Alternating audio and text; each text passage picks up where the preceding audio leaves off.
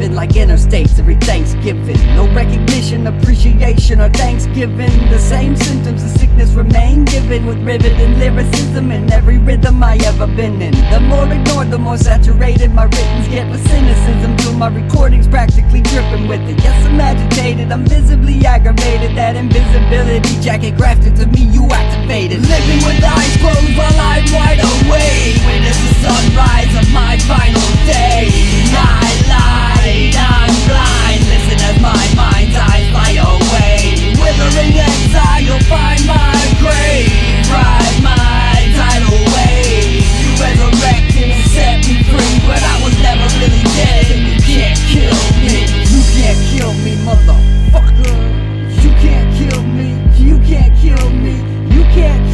Motherfucker. You can't kill me. You can't kill me. The game that you play ain't a game to me. You claim it's a game but it ain't to me.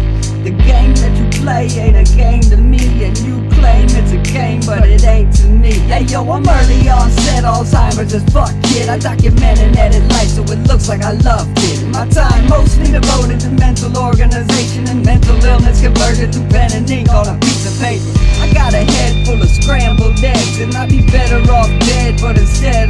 And today. I went ahead and made another mistake And I'm gonna pay for it and pay for it forever I think. You're nobody till somebody kills me